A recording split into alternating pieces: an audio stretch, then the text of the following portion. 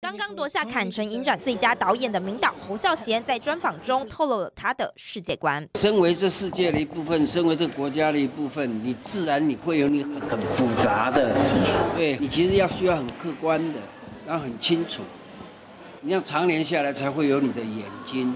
才会有你的眼界。侯孝贤强调，要有常年的累积，才能够拥有自己的风格。如同聂隐娘，侯导扎扎实实的准备将近十年，在坎城影展上大放异彩。侯导也曾经年轻过啊，所以他拍的戏在某一个时代的时候，大家四十多岁时候，他也是非常的外放的，呃，很多话要表达的，很多话要就是要说出来的，要要让大家看到的、听到的。